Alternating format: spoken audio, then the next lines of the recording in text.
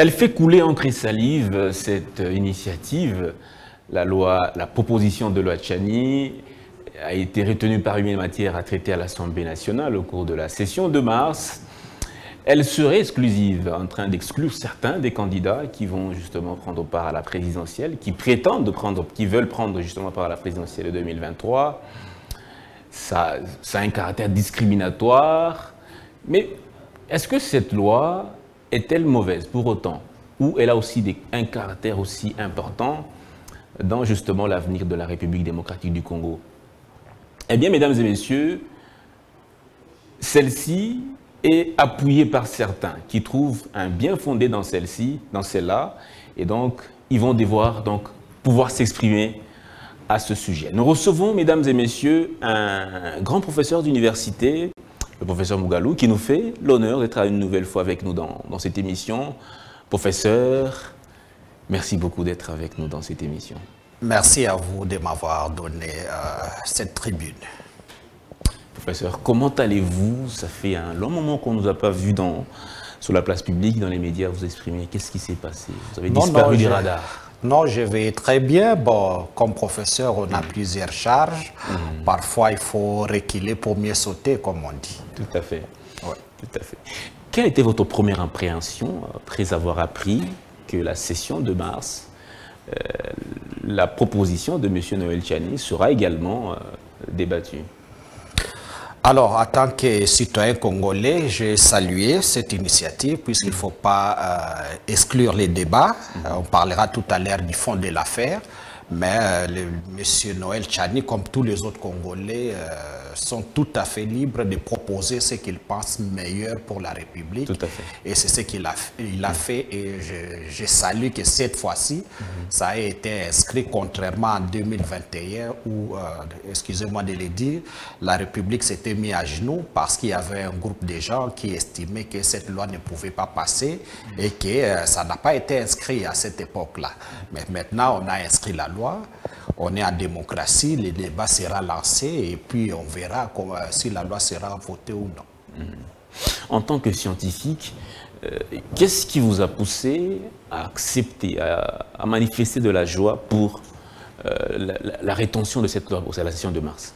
Parce que justement, nous sommes dans un régime démocratique, comme je disais euh, tout à l'heure, et en tant que tel, on ne peut pas exclure les débats. Si, on est dans, si nous voulons aller vers la démocratie, nous devons accepter la contradiction. Vous n'êtes pas obligé de penser comme moi. Je ne suis pas forcément obligé non plus de penser comme vous. Donc, chacun peut faire ses propositions et c'est de la majorité qui va se dégager euh, la tendance générale qui va engager le pays. Merci beaucoup, professeur Mougalou. Mais qu'est-ce qui vous pousse à soutenir cette initiative? Alors, euh, je crois que cette loi est très bien. Je salue euh, son initiateur, le professeur Moudiavita Tchani, pour cette clairvoyance. Il est économiste de formation monétaire, monétariste, si je ne me trompe pas, mais s'est lancé là dans un domaine euh, juridique qui n'est pas à, à première vue son, son dada. Et je salue qu'il ait boutiqué ça. Alors, pour répondre directement à votre question, euh, si vous lisez la quasi-totalité de toutes les constitutions du monde, pour l'accès à certains postes de responsabilité, il y a toujours une certaine conditionnalité. Vous allez aux États-Unis, on va vous dire il faut être né sur le sol américain. Vous allez en Angola, et le pays qui nous entoure, il faut être angolais. Vous allez par exemple en Tunisie, c'est encore plus fort. Il faut être musulman d'abord, il faut être tunisien, né de père et de mère, eux-mêmes nés de pères et de mères tunisiens qui n'ont pas changé de nationalité pendant un certain temps. Mais je trouve que la, la loi de- que nous propose euh, le docteur et le professeur euh, Tchani est, est une bonne chose pour un pays aussi convoité que le nôtre. Merci beaucoup, professeur euh, euh, Mougalou. Alors, plusieurs instruments juridiques internationaux euh, seraient euh, justement, cette loi irait en contradiction avec euh, euh, ces instruments juridiques. La Constitution également, la loi sur la nationalité, le Code de la famille, le Code électoral, les groupes ethniques ainsi que aux coutumes. Alors, parlons justement de la loi sur la famille. La loi numéro 4 du 12 décembre 2004 relative à la nationalité congolaise qui à son article 4 stipule tous les groupes ethniques et nationalités dont les personnes et les territoires constitués, ce qui est devenu le Congo, présentement RDC à l'indépendance, doivent bénéficier de l'égalité des droits et de la protection au terme de la loi en tant que euh, citoyen. Cette loi est toujours en, vigueur. Est-ce que l'initiative de loi ne va pas en contradiction avec l'article 4 du Code de la famille? Ben, De mon point de vue, je ne pense pas. Mais je crois d'abord qu'il faut commencer par corriger quelque chose. Hein. J'attends dans l'opinion, les gens parlent de la loi sur la congolité. Non, la loi que nous propose euh, le professeur euh, Tchani, supportée par un député, ne, définit pas les conditions d'accès à la nationalité congolaise. Loin de là. La loi définit simplement les conditions d'accès à certains postes que nous estimons stratégiques. Donc il ne faut pas faire l'amalgame les lois de là ne traitent pas de la nationalité congolaise.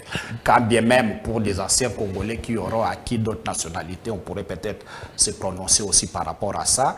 Le principe de l'irrévocabilité de la nationalité congolaise, c'est peut-être la seule accointance avec les questions sur la nationalité.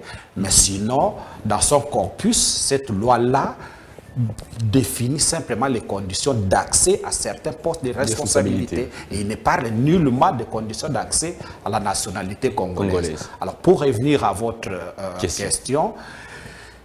toute loi, la loi, nous le savons, on nous a appris à l'école, est impersonnelle et de portée générale. Ça, c'est la loi, parce qu'il ne vise pas un groupe, il ne vise pas un individu. Mais en tant que loi, c'est toujours une discrimination quand on parle de la loi. Même la loi actuelle, ce n'est pas quelqu'un de 18 ans qui peut prétendre postuler et devenir président de la République. On a fixé l'âge. Quand on fixe l'âge, on dit qu'il faut avoir tel âge au minimum, tel âge au maximum. Ça exclut déjà une certaine catégorie de citoyens. Ne fût-ce que par rapport aux critères âge.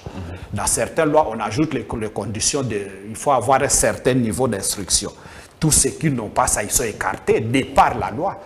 N'est-ce pas? Donc, toute loi, tout règlement a pour vocation, je ne dirais pas pour vocation, peut arriver à exclure certaines catégories de, personnes, qui ne remplissent pas certaines conditionnalités. je, suis d'accord. Je, je suis d'accord avec vous, Monsieur le professeur. Cette loi consacre notamment les conditions d'accession à la présidence de la République, euh, en tant que chef du gouvernement, président du Sénat et de l'Assemblée nationale, président de la Cour constitutionnelle, président de la Cour de cassation, chef d'état-major des FARDC, chef de la police et des services de renseignement, gouverneur de la Banque centrale du Congo. Pour occuper ces fonctions, il ne faut être que congolais, né de père et de mère. Je suis euh, tout à fait d'accord parce que à ce niveau de responsabilité, il faut une certaine loyauté vis-à-vis -vis du pays. Euh, la, sagesse populaire nous dit qu'on ne peut pas servir deux maîtres à la fois. Ça, c'est nous le connaissons. On ne peut pas être loyal à la fois vis-à-vis des deux pays, parce que les pays, dans leurs relations, peuvent entrer en conflit euh, euh, par rapport à leur histoire, par rapport aux intérêts. Maintenant, si les intérêts des deux États entrent en contradiction, vous qui êtes censé représenter un pays X, quelle serait votre position? Vous vous mettez dans une position peu confortable.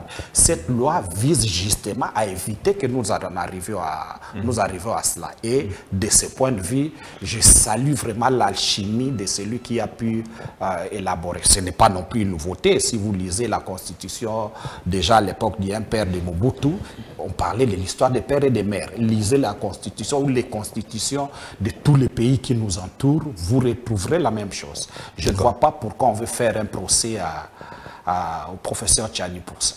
Mais est-ce qu'il faudra reviser le code de la famille? Tel que je viens de le lire là, l'article 4. Tous les groupes ethniques et nationalités, dont les groupes, dont les personnes et les territoires constitués, ce qui est devenu RDC, indépendance, doivent bénéficier de l'égalité des droits et de la protection au terme donc de loi en tant que citoyen. Tout à fait, je suis tout à fait d'accord et la proposition telle qu'elle est élaborée là, même la loi actuelle, ne devient pas président qui veut, même si on les laisse à l'État.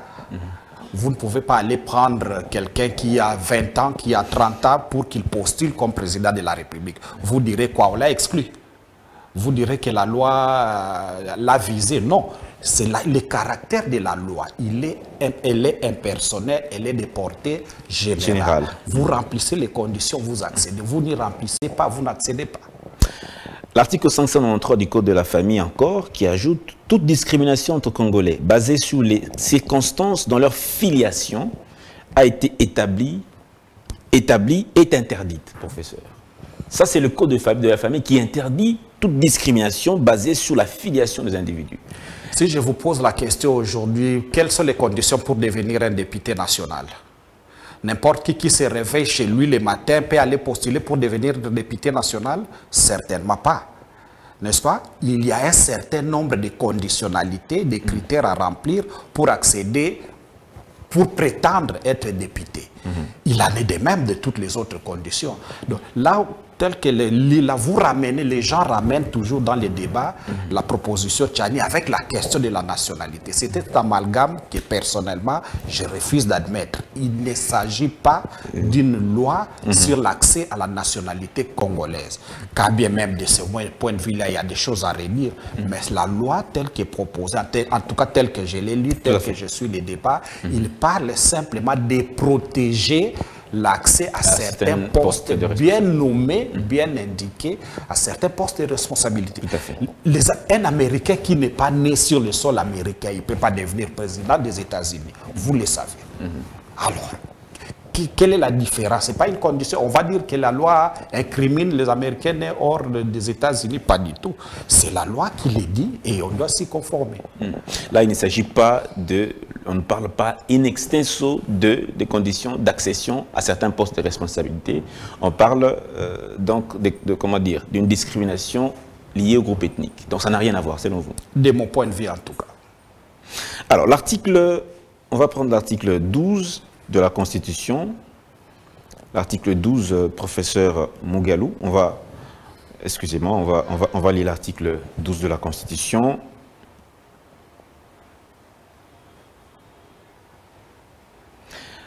Tous les Congolais sont égaux devant la loi et ont droit à une égale protection des lois. Pour le moment, un Congolais né de, de père étranger, d'un des parents étrangers, est Congolais aussi autant que vous et moi. Tout à fait. Et donc bénéficie et est égal devant la loi et a droit à une protection égale des lois. Et alors, en quoi la loi proposée par Tchani enlève à ces Congolais-là l'égalité vis-à-vis des autres? Je n'en vois pas. À moins qu'on me prouve le contraire. Il ne parle pas de cela. La loi Tchani ne parle pas de cela. La loi de Tchani note pas certains Congolais la qualité des Congolais. Pas du tout. Nous avons tous droit à une égale protection vis-à-vis de la loi. Mais pour accéder à certains postes, il faut, pour devenir journaliste, il y a un, Un cheminement que vous avez suivi, un processus que vous avez suivi. Moi, je ne peux pas prétendre me réveiller chez moi le matin, venir ici, non, je suis journaliste. Pas du tout. C'est simplement de cela qu'il s'agit, en tout cas, de mon point de vue. Il n'y a aucune euh, discrimination. Je ne vois pas de discrimination. Je ne vois pas parce qu'il y a des conditions qui sont... de- Sinon, toutes, sinon, on enlèverait les conditions partout. Pour être député, on enlève toutes les conditions. Pour être président du Sénat, on enlève toutes les conditions. Donc, tout le monde peut compétir, quel que soit d'où il vient, quel que soit son âge, si vous voulez une égalité parfaite, totale. Mais professeur, qu'est-ce que les Congolais nés de père et de mère ont de plus précieux que ceux nés des parents étrangers, d'un parent étranger, n'ont pas? Alors, quand on gère un pays, euh, on gère sur base, co- comme on dit, hein, gérer, c'est prévoir, n'est-ce pas? Le problème, on estime que l'attachement, les degrés, si je peux m'exprimer ainsi, les degrés d'a- d'attachement à un pays, à une entité, n'est pas la même selon qu'on a la nationalité de ces pays-là ou selon qu'on ne l'a pas. N'est-ce pas? On n'a pas les mêmes degrés, les mêmes intérêts degré d'attachement. le degré d'attachement. C'est de cela qu'il s'agit. Puisque vous savez, en relation internationale, qu'est-ce qu'on dit? Les, les pays n'ont pas d'amis. D'amis, Les pays ont des intérêts. Maintenant, comment tu veux défendre les intérêts de la RDC dans le concert de la nation, dans le concert des nations, si vous n'êtes pas 100% loyal vis-à-vis de, de la RDC Et les postes qu'on a cités, c'est 5, 6 ou 8 postes. Mais il y a bien d'autres postes au pays que tout le monde peut occuper. Je ne vois pas pourquoi cela poserait un problème. Pourquoi cela? Nous devons protéger. Si nous regardons notre économie aujourd'hui, et ça c'est une réalité, le, Congo a perdu le contrôle de son économie. Tous les grands secteurs de l'économie de notre pays sont entre les mains des étrangers. Et si on n'arrive pas à protéger la donne politique, je crois qu'on est en train d'ouvrir, on est bien dans la mondialisation, je vais bien, mais c'est vraiment un gros risque moi, en tant que Congolais, euh, je n'aimerais pas que nous puissions subir demain si nous ne prenons garde. L'Église catholique s'est prononcée là-dessus. Monseigneur, euh, euh, Chollet, euh, l'abbé Chollet et le cardinal Fridolin Mbongo se sont prononcés à ce sujet. Ils sont contre. Pour eux, cette loi vient fracturer une nouvelle fois les tribus, les ethnies au Congo, vient réveiller les vieux démons séparatistes des, tribus en, en RDC. Votre réaction? J'ai une très grande admiration pour l'Église catholique. Je suis catholique moi-même. Et j'ai une grande euh, admiration pour les évêques. Mais je crois que là, euh, peut-être, euh, soit il y a un problème de compréhension, de mon point de vue en tout cas. Je ne vois pas pourquoi, je n'arrive toujours pas à comprendre euh, la position de l'Église, puisque c'est la position officielle de l'Église par rapport à cela. Je n'arrive pas à comprendre. L'Église catholique, par exemple, pour parler de ça, on ne peut pas nommer un évêque, un imam à la tête de l'Église catholique. De même, on ne peut pas nommer euh, un, un- euh, un évêque catholique à la tête de la religion musulmane. Parce qu'il y a des conditions. On ne va pas dire qu'on exclut, non. C'est ça la conditionnalité. C'est vraiment des postes qui gèrent un pays, qui gèrent la souveraineté d'un pays. C'est des, des- des postes régaliens. N'est-ce pas? Tu peux bien recevoir un étranger, même quand nous recevons des gens dans nos maisons, il y a des espaces où ils ne peuvent pas aller. On peut les recevoir au salon, mais ce n'est pas n'importe qui qui peut aller à la cuisine, ce n'est pas n'importe qui qui peut aller à la chambre, n'est-ce pas? C'est simplement ces précautions-là que euh, la loi propose, suggère à la nation. N'oublions pas l'histoire de ces pays. Nous sommes entourés de neuf voisins. Et lisez la constitution de tous ces pays-là. Il n'y a aucun pays dans les neuf qui nous entourent qui ne parle pas de cela. Pour accéder à tel poste, il faut être tel d'origine, il faut être angolais d'origine, il faut être congolais de Brazzaville d'origine, il faut être burundais d'origine, etc. Certains vont même plus loin. Mais la loi là, en tout cas, euh, pour une fois, j'ai du mal à comprendre la position De euh, l'Église catholique. de l'Église catholique par rapport à ça. Article 220 de la Constitution, professeur. On va, on va lire. Hmm. Euh, la forme de, deuxième, deuxième alinéa est formellement interdite toute révision constitutionnelle ayant pour objet ou pour effet de réduire les droits et libertés de la personne ou de réduire les prérogatives des provinces et des entités territoriales décentralisées. Là, c'est dans l'hypothèse où cette loi était anticonstitutionnelle. La Constitution elle-même refuse qu'on puisse réviser, qu'on puisse la réviser pour des initiatives tendant à réduire les droits et libertés de la personne. Donc, pour vous, cette initiative ne vient pas, il n'est pas obligatoire de réviser la Constitution si elle est adoptée. Non, il faut lire la, la proposition dans son entièreté. Si je reviens à la question, tout à l'heure on parlait des Congolais euh, qui ont acquis d'autres nationalités. Pour l'instant, ils ont perdu la qualité de Congolais. Ils ne sont plus Congolais. Oui. Mais maintenant, la loi propose l'irrévocabilité de cette nationalité-là, ce qui n'est pas inscrit dans la Constitution. Donc, si cette loi doit pas- peut passer, il faudrait adapter cet article-là à la nouvelle donne. Mais là également, j'ai des commentaires à faire sur la question euh, de, de double nationalité. C'est vrai que c'est la tendance, il faut qu'un jour on y arrive. Oui. Donc moi, j'ai vécu un certain moment à l'étranger. Je n'arrivais pas à comprendre mes, com- mes anciens compatriotes, si je peux les appeler ainsi, qui devraient solliciter un visa pour revenir en RDC voir leur famille. Parce que dans l'entretemps, ils sont devenus belges, ils sont devenus euh, français, ils sont devenus an- an- anglais. Et ça, je trouve que c'est une bonne chose pour les Congolais d'origine qui auraient perdu, on, on sait pourquoi ils ont perdu cette, nation- cette nationalité-là. Et ça, c'est vraiment une bonne chose. Ça- Cela doit impliquer nécessairement que euh, certaines dispositions de la Constitution soient adaptées. D'accord. Professeur, l'article 21 de la Déclaration universelle des droits de l'homme stipule que toute personne doit bénéficier d'une protection dans des conditions d'égalité à prendre part à la direction des affaires publiques ou accéder aux fonctions publiques de son pays.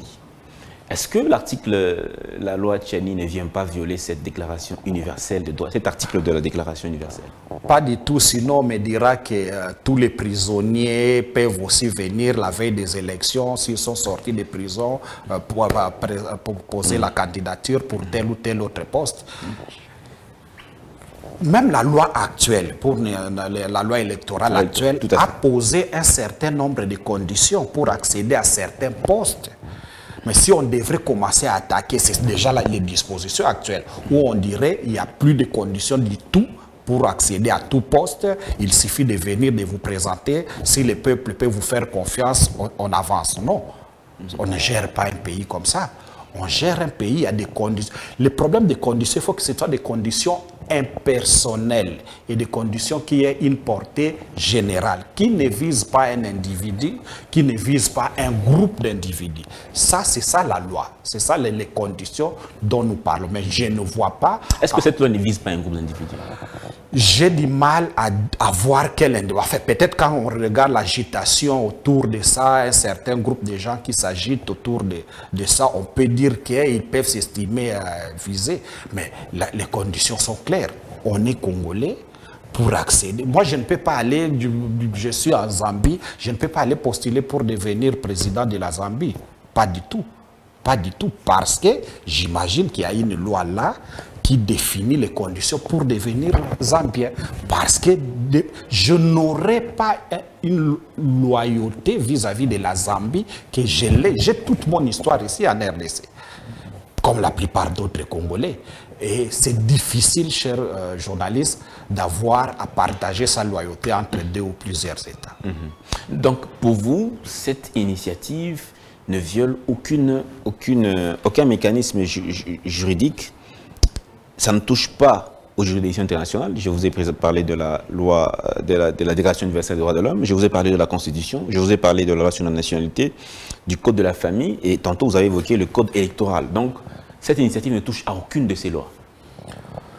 Je ne suis pas euh, fondamentalement juriste, peut-être mes collègues juristes vont nous éclairer là-dessus, mais ma lecture d'un non-juriste, je ne vois pas. Je ne vois pas parce que euh, le procès qui est fait, comme je le disais tantôt, on, ra- on ramène cette loi à la congolité avec en toile de fond l'ivoirité, c'est pas la même chose. Ce n'est vraiment pas la même chose, puisque là, si on regarde l'histoire, l'ivoirité, c'était une communauté qui était visée, une commu- communauté de- des Ivoiriens de- du nord du pays qui était visée. Ici, je ne vois pas a priori quelle est la communauté qui est visée.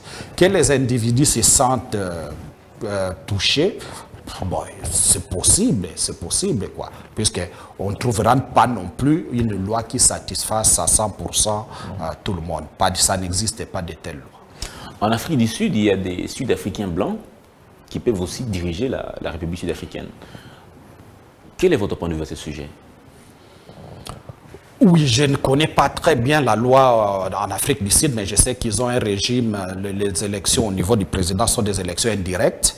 C'est les parlementaires qui élisent le président et c'est le parti euh, qui arrive en premier, qui a la majorité au Parlement, qui impose euh, euh, son président. Et je ne pense pas que sur le plan des faits, ils ont interdit aux Blancs de devenir Président de la président. Je, je doute. mais bon, si le- demain ou après-demain, les partis majoritaires se constituent autour et qu'on décide de prendre un blanc, oui. Mais peut-être pour cette question me fait penser à autre chose. Euh, c'est vrai que l'application de cette loi euh, doit faire souffrir certains Congolais disons les choses clairement, qui n'ont pas la peau noire, par exemple. Ça, c'est possible. Parce que, bon, quand vous avez la peau blanche, on sait déjà que plus ou moins que... l'un des parents. L'un des parents est ceci ou cela. Mais euh, les gens qui ont la peau comme nous, ils passent à travers les, les mailles parce que notre système d'état civil n'est pas bien organisé. C'est là aussi euh, si on veut éviter dans l'avenir ce genre de choses, il faut qu'on remette les services de l'état civil à sa place. Parce qu'on ne trompe jamais de sa nationalité à la naissance. Si on enregistrait systématiquement toutes les naissances qui surviennent au pays, qu'il s'agisse des nationaux comme des étrangers, si on pouvait suivre, tracer chaque Congolais, on aurait moins de problèmes. Les problèmes, on a ces pays, on on s'est précipité à gérer les mines, on s'est précipité à gérer les coltas, on s'est précipité. Mais on a oublié de gérer l'homme. On a oublié de gérer la première ressource du pays. Et tous les problèmes, les grands problèmes que nous vivons dans ces pays aujourd'hui, c'est parce qu'on n'a pas pu gérer l'homme. On n'a pas pu gérer les ressources humaines. La guerre de l'Est, on peut tout dire. C'est une guerre démographique, moi je peux dire. Si on remonte dans l'histoire, cette guerre c'est vers les années 1922 qu'on a commencé à transplanter les populations d'origine rwandaise euh, dans les Kivu, dans ce qu'on appelait les, les, grands Kivu à l'époque. Et c'est l'HCR, notamment sous l'espèce de l'HCR avec les, les, colonisateurs d'alors. Mais après, on n'a pas suivi. Et ces gens, ils sont venus, il y a eu d'autres qui sont nés sur les sols congolais. Est-ce qu'il faut appeler ces gens-là étrangers? Je crois que la logique voudrait que ça soit non, puisqu'il y a certains qui sont à la deuxième ou troisième génération qui ne sont jamais répartis dans les pays de leurs ancêtres, de leurs parents. Ils sont nés chez nous, ils grandissent chez nous. Bien évidemment, il faut définir la loi, j'espère qu'on va y penser, jusqu'à quelle génération on peut arrêter ça jusqu'à quel, puisqu'il ne faut pas que ça suive quelqu'un, puisque vous aviez un aïeux il y a mille ans qui était... Euh, le, cas, le cas particulier de, des États-Unis d'Amérique, où nous avons parfois des présidents, des vice-présidents qui ne sont pas de père et de mère américains, qui dirigent les États-Unis d'Amérique. Hum, est-ce que à ce niveau-là, ça quelle est votre lecture euh, du cas américain? Alors, ils ont les réalités, nous avons les nôtres n'est-ce pas? Ils ont euh, leur système qui est fort de, gestion des ressources humaines, notamment, j'en parlais euh, tout à l'heure, et ils ont défini que pour être euh, américain, ils ont le droit du sol, notamment. Tout enfant né sur le sol américain, acquiert la nationalité américaine. Alors, vous avez, comme je disais, entre les deux, si on prend seulement les Américains disent que pour être président aux États-Unis, il faut être né sur le sol américain. Même si vous êtes américain, vous êtes né au Congo, vous ne pouvez pas devenir président, président aux États-Unis. Ça, c'est encore plus grave que ce que propose la loi Chani.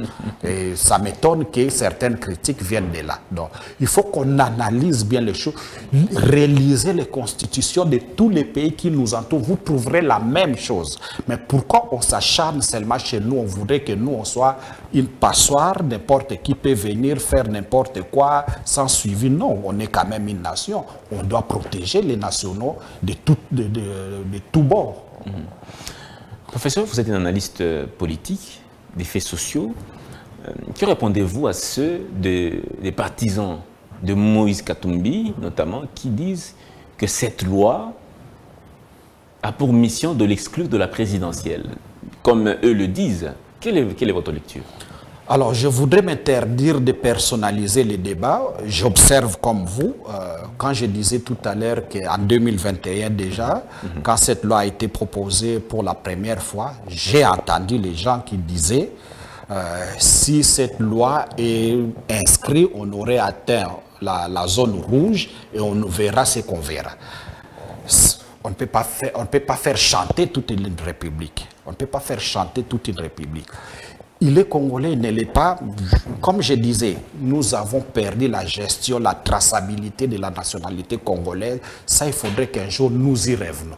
Et ce n'est pas très compliqué, c'est réhabiliter les services de l'état civil, c'est commencer à faire les recensements régulièrement, c'est donner à l'ONIP, Office national d'identification de la population, les moyens de sa politique, c'est restaurer la culture statistique de façon générale. Si on arrive à ça, on aura résolu pour les générations futures. Comme je disais tantôt, on ne trompe pas sur sa nationalité à la naissance. À la naissance, puisqu'on est dans un quartier, quand l'enfant naît, on sait que cet enfant est né, ses parents euh, je dis n'importe quoi, euh, sud-africains.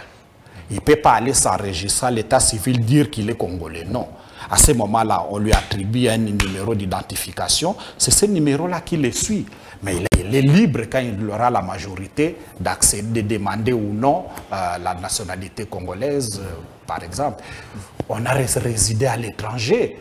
Il y a des choses qu'on ne pouvait pas faire dans ces pays parce qu'on était étranger. Mais pourquoi chez nous, les étrangers peuvent tout faire? Ça, ça, fait problème, non? Si on veut que ces pays retrouvent sa souveraineté, il y a là aussi des efforts à faire.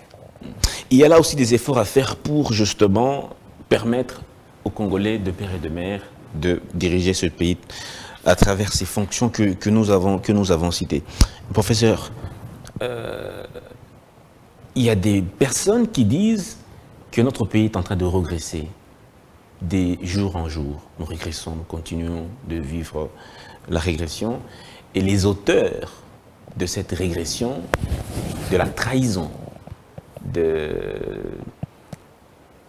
ceux qui sont en train de détruire ce pays, c'est justement euh, les Congolais de, nés de père et de mère.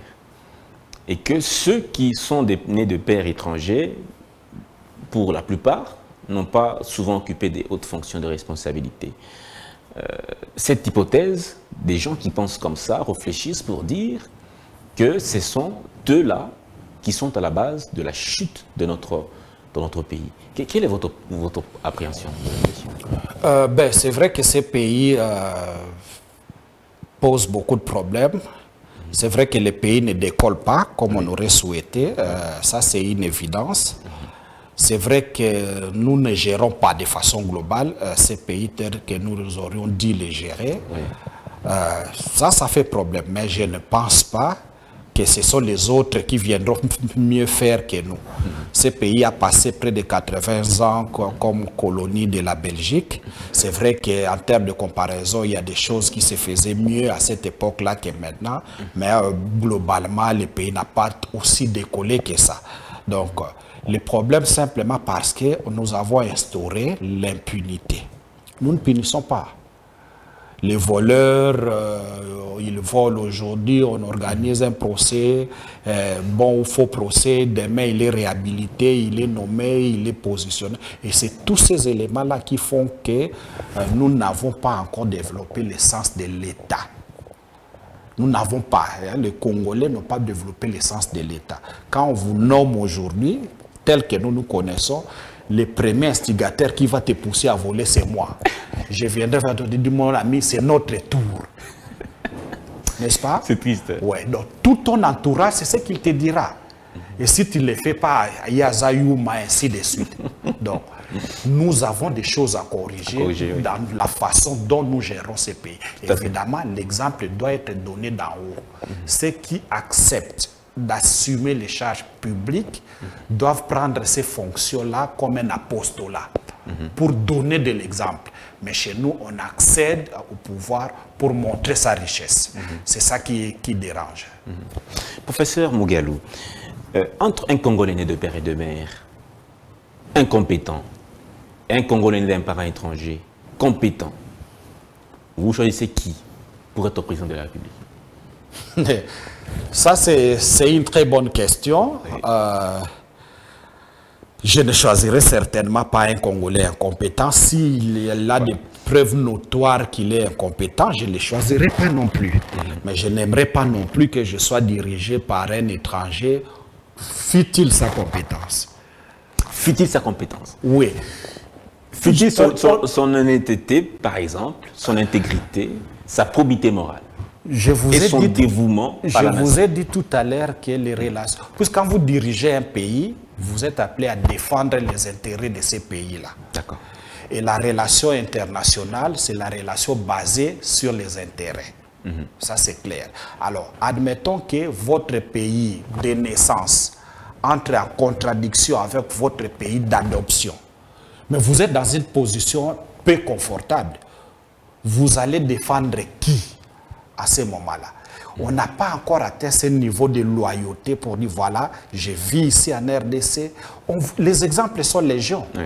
Les exemples sont légion. Il y a des gens qui ont des mines dans ces pays qui enrichissent L'étranger. Vraiment, c'est ça le modèle que nous voulons, malgré leurs compétences, de mon point de vue, non. Professeur, Noël, professeur Mogalou, que dire de ces tribus qui sont, euh, qui sont à la frontière de la RDC Ces tribus qui sont certaines en Angola et au Congo, en Zambie et au Congo. euh, ces tribus, des personnes qui ont des liens avec ceux des, autres pays étrangers. Euh, Est-ce qu'à ce niveau-là, on peut aussi trouver un mécanisme pour euh, bien, bien structurer les choses? Pour ne pas avoir des étrangers Alors, cela remonte, euh, ce que vous dites là remonte à 1885, quand, conférence de Berlin, quand on a partagé l'Afrique sans l'Afrique. C'est vrai, c'est historique. On a séparé les peuples qui étaient jusque-là réunis, qui se considéraient dans un seul pays, dans un seul royaume. Du jour au lendemain, ils se sont vus euh, dans des pays différents. C'est ça l'intégration régionale. Tout à fait. Si on arrive à consolider l'intégration régionale, il n'y a pas de problème. Mais aujourd'hui, on va considérer ces frontières-là comme une donne. Sinon, on ne peut plus, on ne peut plus revenir à avant 1985, 1885. C'est impossible. Plus jamais. Voilà, mais on considère ça comme une donne. Mais pour éviter des choses comme ça, on développe des relations économiques entre pays. D'ailleurs, le peuple est déjà à leur niveau, ça ne pose pas de problème. Jusqu'à aujourd'hui, il y a des traversées de part et d'autre entre euh, la RDC, le Rwanda. Entre... Nous avons neuf pays voisins, je vous ai dit. Si vous allez à Angola, à- au Congo, Loufou. à- au, bas- au Congo central ici, Congo central. il y a plein de, de Congolais, des Angolais. Mais les Angolais ne posent pas un problème particulier. Si vous, à l'Équateur, il y a des mes frères de Congo-Brazzaville qui sont, et vice-versa. Vous allez à Bangui, vous allez rencontrer des Congolais euh, à, à Bangui. Mais si maintenant, au niveau des États, on consolide l'intégration régionale, ça va résoudre tous ces problèmes-là. Et quand on exécute ça de bonne foi, sans des visées euh, expansionnistes. Merci beaucoup, professeur Mogalou. Mais on n'a pas encore fini. J'aimerais que vous puissiez aussi euh, dire que cette, euh, cette initiative, elle est bonne parce que dans l'avenir, le Congo ne sera peut-être pas soumise à certains, soumis pardon, à certains problèmes, euh, notamment euh, tout à fait euh, d'infiltration et autres, parce qu'on a connu pendant un moment des- un chef d'état-major qui étaient de nationalité rwandaise. Donc cette loi vient justement corriger ces lacunes que nous avions connues dans le passé. Tout à fait, mais euh, la loi en- en elle-même ne doit pas tout résoudre. Déjà, ça pose l'application, même si cette loi passe, son application euh, posera des problèmes. Soyons réalistes, regardons la réalité en face. face, oui. Aujourd'hui, qui est congolais qui ne l'est pas? Par quel mécanisme vous allez me prouver, j'utilise les mots, votre congolité Voilà. Moi non plus, je n'ai aucun mécanisme de te prouver de ma congolité. N'est-ce pas? C'est là le problème. C'est pourquoi j'ai dit, les gens à peau claire, peut-être, risquent d'en souffrir puisque eux, c'est visible. Mais ceux qui ont la peau toute noire comme nous, ils risquent de pas. passer. Voilà. Tout cela ramène à ce que je disais, à la gestion de la population comme une ressource. La population doit être gérée de la naissance, je dirais même de la conception au cimetière. On doit tracer. Quand on vous dit là, vous dites que je suis né à Kinshasa, par exemple, il faut que quelque part, on ait trouvé dans une des communes, dans un des bureaux des services de l'état civil, X date, monsieur a déclaré que, euh, enfin, vos parents vous ont déclaré que vous êtes né là-bas, et c'est tracé. C'est tracé, vous êtes né de tel père, de telle mère, etc. Mais pour le moment, ces éléments, nous ne l'avons pas. Si on veut que cette loi réussisse, il faut que des réformes sur le plan administratif, sur le plan administratif plutôt, notamment des réformes au niveau de la, de la statistique, de la culture statistique de façon générale, mais si je parle particulièrement des statistiques démographiques, des statistiques sur la population, et l'une des sources, c'est l'état civil, qui n'est pas trop cher à organiser. Qui- les machines, par exemple, après le cycle électoral de ici, on peut ramener les machines de la CENI, on donne ça aux communes. Les communes commencent à enregistrer, partant peut-être du fichier de la population, des fichiers de la CENI. Et à ce moment-là, chacun, on peut les suivre. Et là, un numéro, comme nos voitures aujourd'hui, nos parents euh, parlaient d'un numéro SD, nous on ne l'a pas connu, qui était comme des numéros matricules. On savait que si on tape ce numéro-là, on te retrace, voilà, il est tel, né de tel, à tel endroit, après il a fait son école primaire ici. À ce moment-là, c'est suivi, personne ne peut tromper. Pourquoi, pendant la rébellion euh, de 97, chaque fois que le, force de la FDL gagnait des villes, capturait les villes, l'une des premières choses qu'il faisait, c'était quoi? Détruire les archives. C'était la politique d'effacer les tableaux. Détruire les archives. c'est ce qu'il faisait, si vous lisez l'histoire, c'est ce qu'il fait. Parmi les choses qu'il faisait, une fois qu'ils arrivaient à capturer c'était détruire les, ar- les archives parce qu'il savait ce qu'il faisait. Il savait ce qu'il faisait. Il n'y a aucune trace. Mais c'est vrai que c'est un problème aujourd'hui, mais progressivement, nous pouvons, des millions qu'on injecte chaque année pour euh, chaque cycle électoral pour euh, reconstituer le fichier électoral. Mais si on avait un service d'état civil organisé, si le service de recensement s'organisait régulièrement, on ne ferait pas les, on ne ferait pas Donc, donc, pro- les- pro- Professeur, sans vous arrêter, donc aujourd'hui, il n'y a aucun moyen de prouver à un individu qu'on est congolais. Il n'y a, pas, il y a aucun il y a- moyen. Non, il n'y en a pas.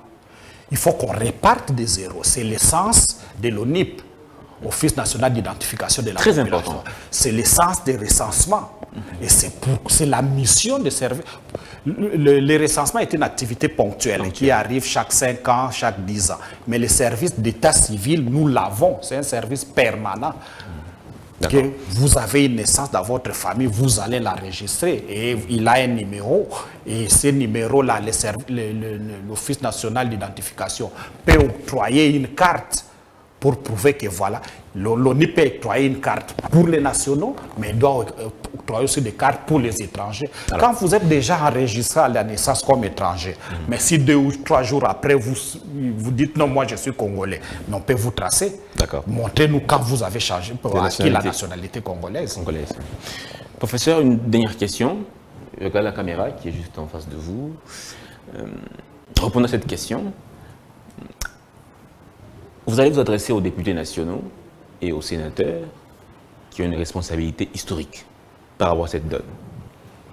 Quel est le message que vous allez adresser aux sénateurs et aux députés nationaux qui vont devoir être soumis à l'exercice du vote contre ou pour cette initiative de loi Alors, je vais dire à leurs honorables députés nationaux que nous avons là une occasion pour commencer à restaurer notre pays.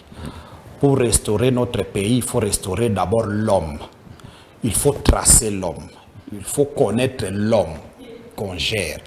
Donc, je les appelle euh, vraiment à soutenir cette proposition de loi, à voter, à la voter massivement. Mais au-delà de ça, de commencer, c'est eux qui votent le budget, de commencer à allouer des ressources à nos entités politico, aux entités territoriales pour la gestion de la variable population. Il faut qu'on réhabilite les services de l'état civil, j'insiste. Il faut qu'on donne les moyens à l'ONIP. Il faut qu'on organise un recensement. Si on fait ces trois opérations-là, il y a beaucoup de choses qu'on peut déjà commencer à résoudre. Et progressivement, on va nettoyer. C'est vrai qu'aujourd'hui, avec les fichiers de la CENI, les étrangers y accèdent facilement parce qu'il suffit d'amener trois témoins, ainsi de suite. Mais progressivement, on va euh, arriver à nettoyer ces fichiers-là et on, aura, on saura combien il y a de Congolais, combien il y a d'hommes, combien il y a de femmes. Ça, c'est vraiment des instruments de gestion. Pour le moment, nous naviguons euh, comme ça. on fait des projets de développement, mais pour qui? Merci beaucoup, professeur Mougalou, d'avoir euh, répondu à notre invitation. C'est vraiment un immense plaisir d'avoir un grand monsieur sur mon plateau comme ça. J'espère que ce n'est pas la dernière fois. Euh, certainement pas. Donc, euh, nous sommes toujours disposés, pour l'amour du Congo, à venir donner, puisque tout ce que nous disons là, c'est le Congo qui nous l'a donné. Hein. Il faut qu'un jour nous puissions restituer, en fait nous le faisons déjà, mm-hmm. mais si on a l'occasion de restituer au Congo ce qu'il a sémé à nous, pourquoi pas. Merci énormément, professeur Mougalou, de votre présence dans Face à l'opinion. Vous l'avez dit, vous allez restituer au Congo ce que le Congo vous a donné. Et donc, l'émission est votre... Euh, vous allez parrainer justement cette émission. Vous allez justement nous accompagner pour cette émission continue de vivre et d'être euh, toujours rayonnante pour l'intérêt général. Merci beaucoup, prof. Merci à vous et au plaisir. Au plaisir. Merci à vous aussi, chers téléspectateurs. Vous, avez un, vous voulez produire ou faire un droit de réponse ici sur ce plateau, dans Grande Tribune, vous avez été, vous avez senti particulièrement touché par cette émission, par les déclarations du professeur. Eh bien, Grande Tribune, et plutôt face à l'opinion, vous laisse l'espace de venir justement euh, communiquer sans problème. Portez-vous bien et à la prochaine.